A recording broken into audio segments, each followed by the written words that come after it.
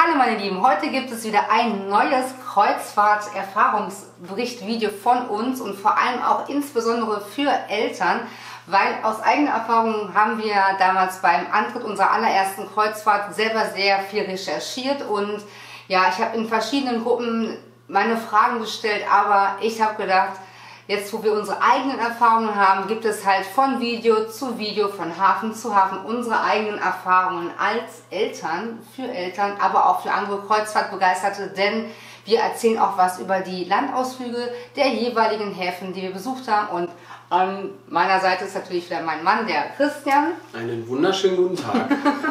Herzlich willkommen hier aus Köln. Tagesschau. Richtig.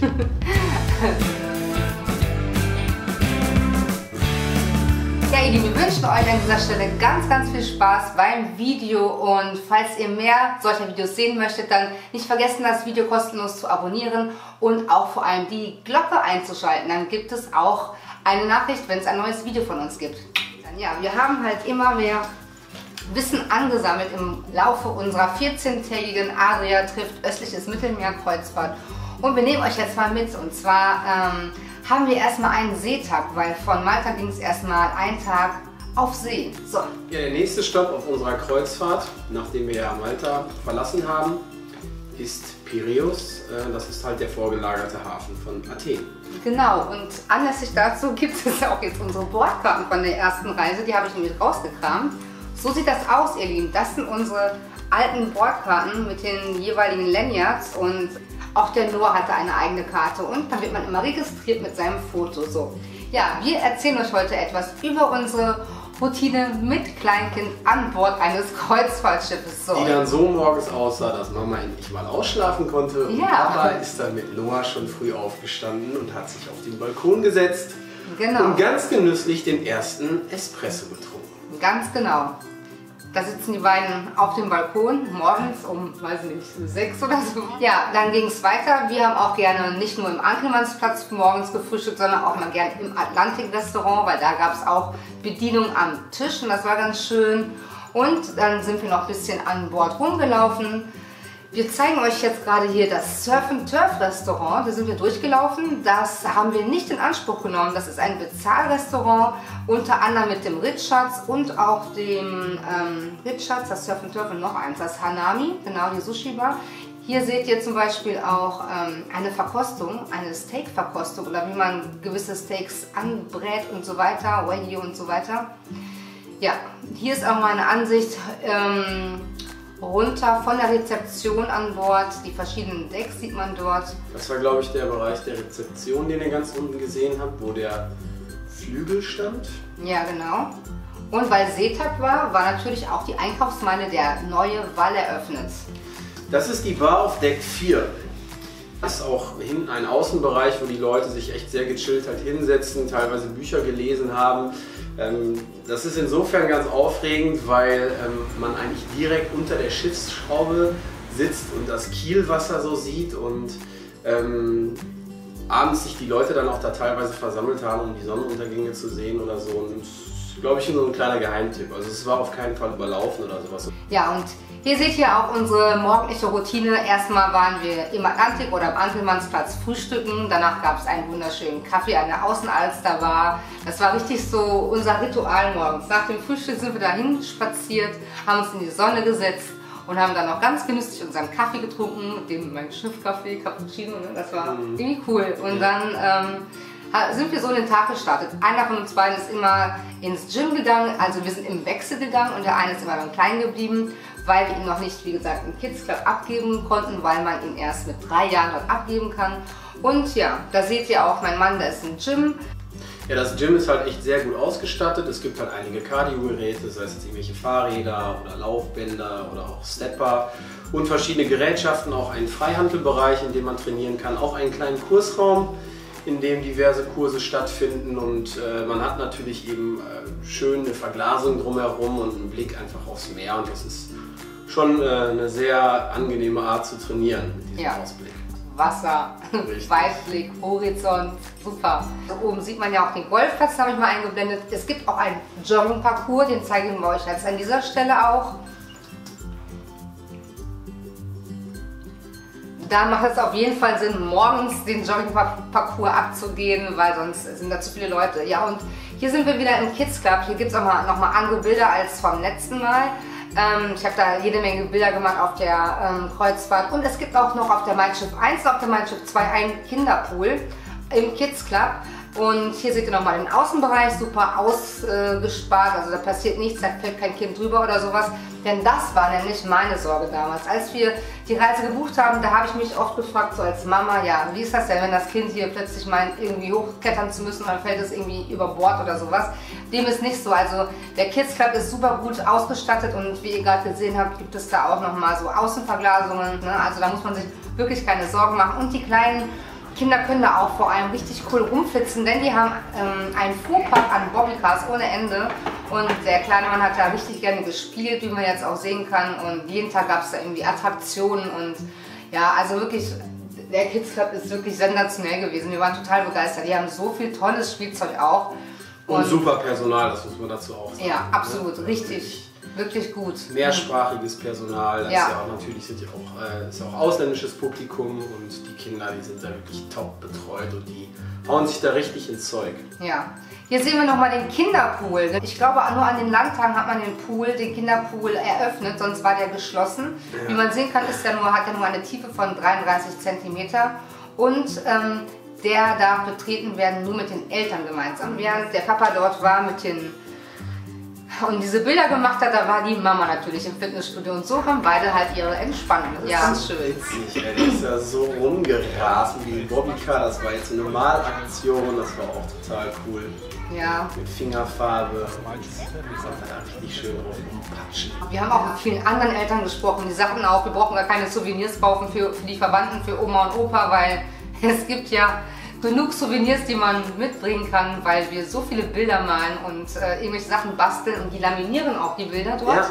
Und das war das Coole, die waren sofort laminiert und wir konnten die mitnehmen, einpacken, in den Koffer legen und ähm, heile nach Hause gebracht. Der kleine Mann hat seine Zeit gehabt im Kids Club sind wir meistens danach zum Mittagessen gegangen und ähm, anschließend gab es dann meistens dieses Kuchenbuffet und da haben wir auch natürlich auch gerne mal ein bisschen Kuchen gegessen. Ausgleichenden Sport hatten wir ja genug, ne? Ja.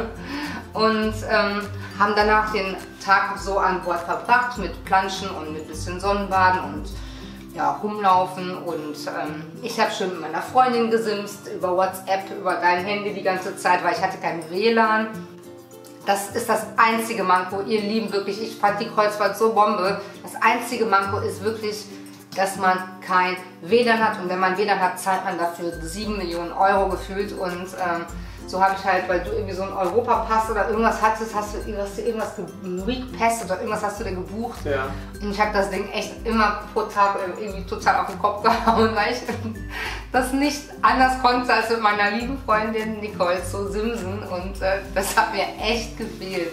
Wenn ich einmal so zwischendurch schlecht drauf war, dann lag es immer daran, dass ich ihr nicht schreiben konnte. Unfassbar, muss man sich mal vor Augen führen. schlecht drauf, weil es kein WLAN gibt. Ja, das ist wirklich so. Das hättest du uns mal vor 20 Jahren erzählen sollen. Ehrlich, da durfte eine Telefonzelle. Hätte ich ja keine Kreuzfahrt gemacht. Und nach einer Woche gibt es immer eine Kinderdisco zur Verabschiedung der Eltern mit einer Aufführung auch für die Eltern. Und das ist so süß. Und der Noah, der ist da so abgegangen. Echt, Leute, ich zeige euch jetzt mal hier die Bilder. Und ähm, das ist echt so mega, mega süß. Ich muss eine andere Musik drunter packen unter diese Sequenz, weil sonst schimpft YouTube mit mir. Ja, also der Noah hatte da mächtig Spaß, auch mit den anderen größeren Kindern und die Kinder haben ihn auch total geliebt und immer abge, abgeschakert mit den Händen und weiß man, wie der da Voll, der ist da im Kreis immer gerannt und so und äh, die haben da so ein Spielchen gespielt und alle mussten stillstehen, wenn die Musik irgendwie aufhörte zu spielen und genau. Noah hat es natürlich der Klar, der war ja der Kleinste dort. War ja erst zwei. Der hat das einfach immer die ganze Zeit durchgetanzt und dann gab es halt diese ganzen Lichter, die da unten auf dem Boden immer so erschienen und dann ist er den Lichtern gefolgt und überall versucht hat er wieder drauf zu springen und sowas. Also der ist da echt abgegangen wie ein Fegewind. Das war so herzerwärmend. Da stehen sie echt alle im Kreis. Und dann Captain Sharky in der Mitte und Noah mitten vollkommen unbeeindruckt hat da richtig einen abgesteppt. also Also geborener Entertainer, würde ich mal sagen. Finde ich fantastisch. Ja, und ähm, Ja, Captain Sharky war auch äh, auf jeden Fall richtig, richtig cool. Wir konnten alle dieses Lied mitsingen, aber da genießte ich die Post ab. Da hatte ich richtig Bock gehabt, auch mitzusingen, aber ich konnte das Lied nicht. Ja, und ihr seht ja auch, am Ende eines Abends oder nach dem Sonnenbaden oder was auch immer, ne, sind wir dann immer gerne auch wieder an die Außenalsterbar gegangen, um dort den Sonnenuntergang zu sehen, haben dort noch unseren Kaffee getrunken und haben uns dort auch nochmal die Auslaufhymne angeschaut. Ne? Das war immer ganz toll. Ja. Und da sehen wir auch die beiden Männer schön mit Sonnenbrille, nur noch mit dem Nuki, hat er jetzt nicht mehr. Ja, und dann hatten wir unter der Tür eine Nachricht bekommen, einen Briefumschlag und zwar mit unserem Ausflug für den nächsten Tag, weil wir haben Piräus gebucht und zwar eine Panoramafahrt und ähm, das kommt jetzt. Und jetzt nehmen wir euch mit nach Piräus. Wir haben angelegt. Das ist der Hafen von Piräus, da sind wir angekommen und da ging es auch schon los. Es ist auch nicht so, wie viele vielleicht meinen, dass da irgendwie 700 Leute den gleichen Ausflug buchen. Dem ist nicht so. Die TUI stellt so viele Busse, ich weiß nicht wie viele, aber es sind mega viele Busse, die da immer stehen. Und es gibt sehr viele Reiseleiter, die dann die Leute dann mit einpacken in die Busse und wir waren immer in Gruppen von ungefähr 30 Leuten. Das ist ja auch überschaubar.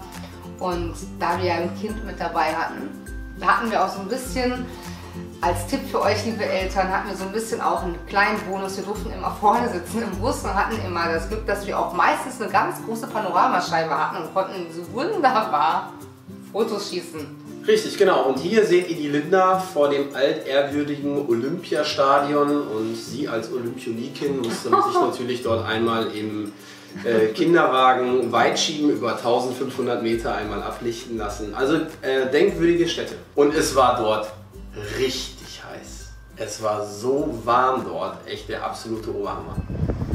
Hellas aus Griechenland, hallo aus Piräus und wir haben heute Morgen angelegt in Piräus, sind jetzt gerade unterwegs mit dem TUI-Bus und äh, unsere erste Station ist jetzt gerade hier an dem Stadion, wo die ersten Olympischen Spiele 1896 stattgefunden haben. Und damals waren die Olympischen Spiele nur fünf Tage lang.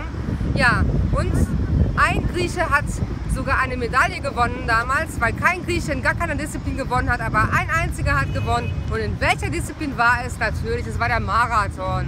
Jawohl. Und heute gilt sogar noch dieses Stadion als Einlaufziel beim großen Marathon, der jedes Jahr hier stattfindet im November.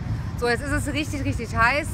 Ähm, der kleine Mann schläft und wir werden jetzt gleich hier ein paar Bilder machen und dann geht es gleich direkt weiter Richtung Akropolis. Wir haben sie gerade schon durch ein paar Eukalyptusbäumen hindurch gespinkst und dann gleich geht es dahin und dann bin ich schon sehr gespannt, wie das dort aussieht. Es muss nämlich ein richtig großer Hügel sein mit ganz vielen tollen Säulen und alten Tempelanlagen. Jo. So, da seht ihr den kleinen Mann im Bus. Der, er hat da seinen eigenen Sitzplatz, sehr bequem. Und da sind wir ein bisschen durch ähm, Athen gefahren. Das kann ich auf jeden Fall allen Eltern wärmstens ans Herz legen. Panoramafahrten klingen jetzt irgendwie total granny-mäßig und langweilig, sind sie aber überhaupt nicht, denn man macht genügend Stops, man hat auch genug Freizeit, ähm, dass man auch vor Ort auch rumlaufen kann. Und wer möchte und irgendwo länger bleiben möchte, verabschiedet sich beim Reiseleiter und sagt, wir fahren alleine mit dem Taxi zurück. Das geht auch. Das haben wir auch schon mal gemacht. Ich weiß nicht mehr, wo wir das gemacht haben, aber in irgendeiner Stadt haben wir das auf jeden Fall so gemacht. Ich glaube, in Bodrum war das so. Und das ist für uns als Eltern das verstehen wir auch unter Urlaub, dass wir einfach uns um nichts kümmern müssen. Das war für uns eigentlich vordergründig wichtig. Ja, also so. Und die Reiseleiter, die sind wirklich alle echt ja, top, top geschult. Auch der jetzt in Athen, der war richtig gut. Wie hieß er? Georgios hieß er. Ich weiß nicht mehr, auf jeden Fall hatte der Ich glaube, er hieß, er hieß irgendwie Georgios und er ähm, hat. War ja, so witzig. Er hat sich natürlich auch so ein Stück weit so ein bisschen auch amüsiert und hat so. Ähm, ja, so Besonderheiten irgendwie der, Grieche, der Griechen, der griechischen Kultur auch sehr amüsant rübergebracht. Dann auch immer so ein bisschen so den Vergleich auch zu den Deutschen gezogen und so. Und also er hat das echt richtig gut gemacht. Das ist die Plaka. Das ist, glaube ich, der Bereich um die Akropolis herum. Ähm, genau, da sind dann halt so Cafés und sowas und äh, schöne Olivenhaine, ähm, wo man sich dann irgendwie hinsetzen kann in den Schatten von den Olivenbäumen und so. Das war. Das war nicht touristisch, da saßen auch ne, die ganzen Griechen selber und haben, und haben ihren Frappé getrunken. Frappé, genau, das war's. Genau. So, ihr Lieben, weiter geht's. Wir nehmen nun Kurs auf die Akropolis. Nun befinden wir uns am Fuße der Akropolis hier in Athen. Zunächst wenig Möglichkeiten von deiner Seite sagen. Jetzt sind wir wieder zurück an Bord und äh, genießen jetzt die Ausfahrt und nehmen euch jetzt noch ein Stückchen mit in den Abend. So, ihr Süßen, heute legen wir ab aus Piräus. Gleich läuft hier die Auslaufmusik. Ja, Piräus, Athen hat uns sehr gut gefallen. Piräus ist ja der größte Hafen, Kreuzfahrthafen Europas mit über 22 Millionen Kreuzfahrern, die hier jährlich auftauchen und ja, aufkreuzen. Piräus selber oder beziehungsweise Athen hat selber nur 11 Millionen Einwohner und das muss man sich mal vorstellen. Also die doppelte Anzahl an Menschen kommt hierher und lässt natürlich auch ihr Geld hier, was auch ganz wichtig ist gerade in Griechenland. ja, aber für uns Kreuzfahrer äh, ist das nicht von Belange, denn man ist ja hier an Bord komplett voll versorgt. Das heißt, man muss noch nicht mal irgendwo draußen sich was zu trinken holen. Das ist eigentlich ganz praktisch. Auch mit Kind, also es ist alles total super easy. Für mich äh, ist das als Mutter sehr entspannt, Gerade weil ich auch oft so pingelig bin, was so Bakterien und sowas was angeht und immer Angst habe, dass irgendwas äh, an den Kleinen kommt. Ja, aber du hast hier wirklich an jeder Ecke an Bord, ob, egal wo du hingehst, ob du ein Restaurant verlässt oder ob du ein Deck wechselst, egal ob du irgendwo Türen passierst, es sind überall diese Desinfektionsspender. Man hält kurz die Hände drunter und schon ist man wieder desinfiziert. Auch die Besatzung an Bord und auch die komplette Crew ist super zuvorkommend. Wir hatten ursprünglich einen Ausflug gebucht, der hieß ähm, Akropolis, wie sie früher einmal war und äh, dort hätten wir die Akropolis auch von innen besichtigt, wären komplett auf die Akropolis raufgegangen. Das wären aber 280 Stufen gewesen. Und äh, da es heute angekündigt war mit äh, über 40 Grad, haben wir uns doch gestern ganz spontan dazu umentschieden, diesen Ausflug doch zu stornieren und haben wir einfach eine ganz klassische und ganz normale Panoramafahrt gebucht. Die hieß irgendwie... Ähm, Inselimpression oder irgendwie sowas und Plaka. Plaka ist ja die sogenannte Altstadt. Ja, das haben wir gemacht. Wir sind auch an der Akropolis gewesen. Unten haben dann von da aus Fotos gemacht. Im TUI-Bus wurde uns alles erklärt. Das war echt super. Also die Leute sind teilweise noch raus und haben noch den Tourguide da nochmal persönlich bedankt und das haben wir auch gemacht. Also der hat das echt so toll gemacht. Der hat wirklich die ganze Zeit erzählt. Wir haben so viel mitbekommen, äh, sind in verschiedenen Stationen gewesen und haben auch echt nichts verpasst. Und da sind wir auch echt froh drum, dass wir diesen Ausflug nochmal revidiert haben und haben einen anderen gemacht, weil mit Noah da die Treppen hoch, das ging überhaupt nicht. Denn man muss ja auch die Kinderwagen unten stehen lassen und das Kind dann praktisch hochschleppen. Ja, mein Baby, Mama kommt. Okay, der kleine Mann ruft mich, ich sage mal Tschüss und dann sehen wir uns morgen wieder aus Mykonos. Ja, ihr Lieben, und wenn euch das Video gefallen hat, dann nicht vergessen, schenkt uns einen Däumchen nach oben, abonniert den Kanal, ist natürlich wie immer kostenlos und dann geht es natürlich jetzt weiter ähm, in den nächsten Hafen. Und ja, jetzt kommen die paar Bilder beim Auslaufen ähm, aus dem Hafen von Piraeus. Und unsere nächste Station ist Mykonos. Mykonos. Und da wird es nämlich ganz besonders, weil wir haben nämlich zwischen Piraeus und Mykonos unsere neuen Freunde kennengelernt. Jens und Birgit und äh, daraus ist wirklich eine Freundschaft entstanden. Man, man, man meint es nicht so etwas, dass so etwas irgendwie möglich ist, aber wir haben tatsächlich an Bord danke Tui, neue Freunde getroffen. Und das ist wirklich eine, eine echte Freundschaft geworden, worüber wir natürlich sehr dankbar sind. Und das ist eigentlich so unser Highlight der Reise. Und dank dem BVB natürlich auch.